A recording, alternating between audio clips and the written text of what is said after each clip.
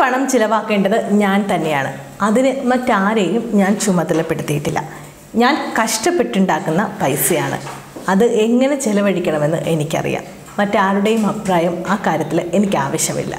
തുറന്നു പറയുന്നത് നൈല ഉഷയാണ് നൈല ഉഷ പലപ്പോഴും തന്റെ നിലപാടുകൾ വളരെ വ്യക്തമായി തുറന്നടിച്ച് പൊതുമാധ്യമങ്ങളിൽ പറയാൻ യാതൊരു മടിയില്ലാത്ത ഒരു പെൺകുട്ടിയാണ്. അതുകൊണ്ട് തന്നെ അത്യാവശ്യം ബോൾഡെന്ന് നമുക്ക് നൈലയെ പറയാൻ കഴിയും. ആയി ജോലി ചെയ്യുന്നു.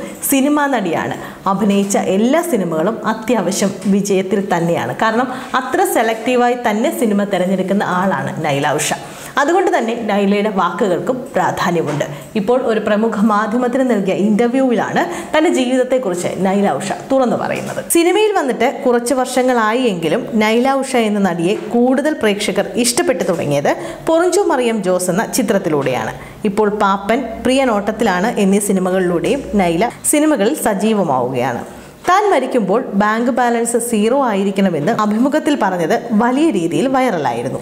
ഒരുപാട് ട്രോളുകളും ഇത് സംബന്ധിച്ച് സോഷ്യൽ മീഡിയയിൽ പ്രത്യക്ഷപ്പെട്ടിരുന്നു. ഇപ്പോഴിതാ ഇതേക്കുറിച്ച് പ്രതികരിച്ചെത്തിയിരിക്കുകയാണ് നൈല ഉഷ. ഗൾഫ് നാട്ടിലെത്തി കഷ്ടപ്പെട്ട് പണിയെടുത്ത് കിട്ടുന്ന പണം നാട്ടിലേക്ക് ചിലവഴിക്കും. അവർ കുടുംബത്തിന് വേണ്ടിയാണ് ജീവിക്കുന്നത്.